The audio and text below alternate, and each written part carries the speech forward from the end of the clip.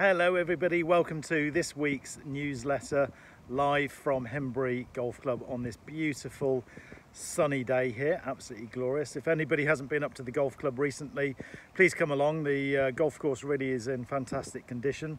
Uh, huge thanks to Gary and all the Green Stuff team for making this golf course such a, a great venue to come and play.